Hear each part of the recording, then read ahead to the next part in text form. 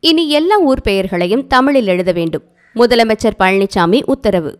தமிழகத்தில் உள்ள ஊர்களின் பெயர்களை தமிழ் உச்சரிப்பை போன்றே ஆங்கிலத்திலும் உச்சரிக்க ஆங்கில எழுத்துக்கள் கூட்டல்களில் மாற்றம் செய்து தமிழக அரசு அறிவித்துள்ளது. இதுகுறித்து அரசு தரப்பில் வெளியிடப்பட்டுள்ள அறிக்கையில் கூறியிருப்பதாவது எழும்பூர் எக்மோர் என்றும் திருவல்லிக்கேணி ட்ரிப்ளிகன் என்றும் வண்ணாரப்பேட்டை வாஷர்மேன்பேட் என்றும் அழைக்கப்பட்டு வந்தது. இதனை முழுமையாக மாற்ற வேண்டும் என்று பல தரப்பிலிருந்தும் கோரிக்கைகள் எழுந்து வந்த நிலையில் தற்போது அதனை செயல்படுத்த அரசாணை பிறப்பிக்கப்பட்டுள்ளது.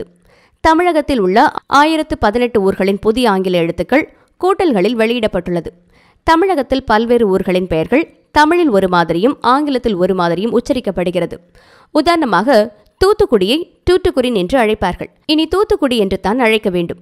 எழும்பூரை ஆங்கிலத்தில் எக்மோர் என்று குறிப்பிட்டு வந்த நிலையில் இனி எழும்பூர் என்றே அழைக்க வேண்டுமென தமிழக அரசு ஆணை வெளியிட்டுள்ளது.